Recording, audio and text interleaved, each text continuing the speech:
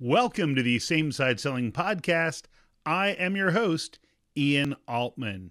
You used to have a great approach for reaching out to clients and prospects. And now this whole pandemic came about, and it seems like the way that you used to reach out to people just isn't working as well as it used to. That's what we're going to talk about on this episode. So, why is it that old approaches didn't work? What I would like to suggest is that it could just be that we were relying on old habits, old tricks, old attributes to reach out to people. See, when we could go out and meet in someone's office, let's say you're selling healthcare, we could show up at a medical facility, at a hospital, at a nursing home. We could also show up at someone's office, factory, whatever it happens to be. But now, after the pandemic, we can't do that. We can't just show up unannounced anymore. And what that means is that we used to be able to rely on our charisma, our personality. We used to be able to quickly connect with people right on the spot and build that type of rapport with them that made them open to hearing our message.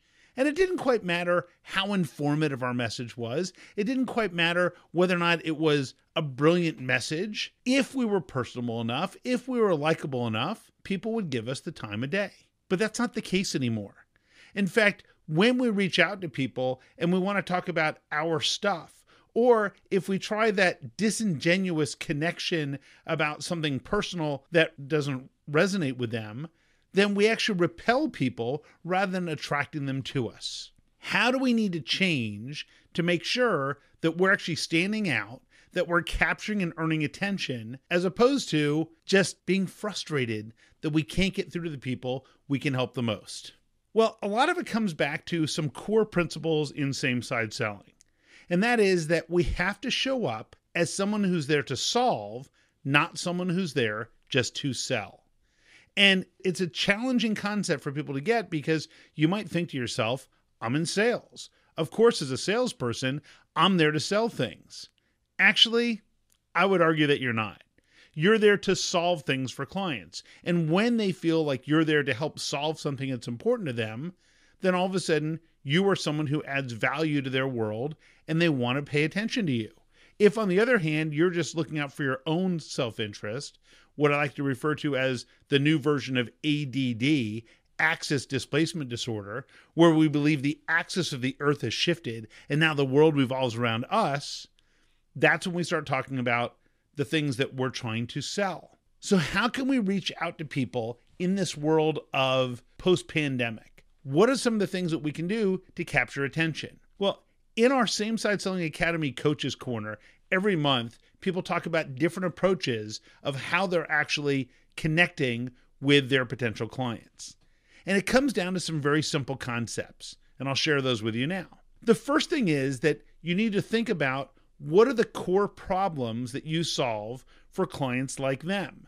So if you reach out to people in a certain industry, you want to think about, well, if I'm reaching out to people in professional services, if I'm reaching out to people in government, if I'm reaching out to people in technology sales, if I'm looking looking out to people in construction, what are the biggest challenges they're facing right now? If my message was something that was relevant 2 or 3 years ago but isn't relevant now, who cares? For example, in my business, a lot of where I've been spending time with businesses lately is on the recruiting side. How are they attracting ideal talent and top talent? Because it's really hard for them to do that right now. And they can't just compete on salary. So, how do they stand out from other businesses when they're trying to recruit? Well, that's something that wasn't as important two years ago, but now it's incredibly important if you can start talking about the kinds of problems that you solve, then instead of talking to someone about your products and services, you get to say, here are some of the trends that we've been seeing lately.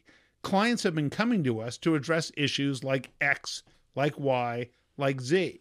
Does one of those stand out for you? Because if one of those doesn't, there's not much for us to talk about.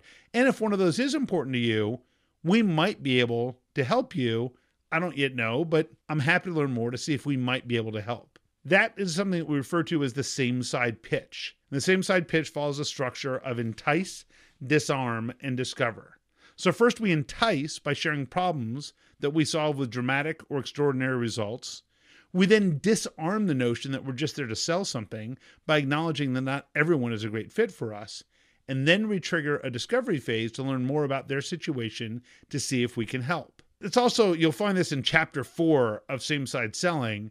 I don't know what page it's on, but it's somewhere in chapter four. I'm sure you can figure it out and get more information about it. What that means is that if we say to people, organizations or clients come to us when they're facing these sorts of problems, and for the right organizations, they tell us we deliver amazing results, but I don't yet know enough about your situation to determine whether or not we can help. But if that's something you're trying to solve, I'm happy to learn more to see if we might be able to help. Notice that you're instantly showing up as someone who's there to solve rather than someone who's there to sell. So, how do you come up with these rants? How do you come up with these problems that you solve? My buddy Bob London refers to this concept as an elevator rant, and I've coined that phrase now, and I probably use it more than he does. The idea for an elevator rant in same side selling is probably a little bit different though. And what we talk about is this notion of what would it sound like when your ideal client is talking to one of their colleagues and complaining about something that either you can solve or something you can solve. They might be complaining about their existing vendor. They might be complaining about something they didn't even know they could solve. Rarely will it include a description of your product and service. No one's going to, in the elevator, say to their colleague, ah, man, I was trying to find someone who provided this type of product or service. I Googled it and nothing came up. That's not going to happen. You have to really get into your client's head and think about what is it that they would be trying to solve. So, how do you find that out? Well, reach out to some of your recent clients and say, what were the biggest challenges you were trying to solve when you reached out to us? And they'll probably tell you. And if you start seeing a common pattern, reach out with that approach. We've had members of the Same Side Selling Academy who have seen a dramatic difference in response rate when they reach out using this approach of the same side pitch versus the approach of trying to use a traditional elevator pitch where you're just talking and spewing about your product's features and benefits. Those messages don't get returned. No one really wants to reach out and talk to someone who's just trying to sell them something. But if you can come across as someone with expertise, if you can come across as somebody who has their finger on the pulse of the trends in the industry, if you're someone who can actually connect with them about things that are relevant to them, and if you can disarm the notion that you're just there to sell something by acknowledging that not everyone is a good fit for you, but if these are issues they're facing, you're happy to talk to them to see if you might be able to help. That's how we pivot that conversation. And we've seen this work effectively across industries, especially post pandemic. So next time you're reaching out to somebody, think about that notion of am I showing up as someone who's there to sell or am I showing up as someone who's there to solve? And if I feel like I'm showing up as someone who's there to sell, it's probably not going to work out well. So I have to think about what are the problems that we solve for our clients? What would they be complaining about that we're really good at fixing? And I lead with those. And that's how you might earn more, more attention and get in the door with the people you can help the most. If there are topics you'd like me to cover, just drop me a note to ian at ianaltman.com, and I will see you on the next Same Side Selling podcast. So long.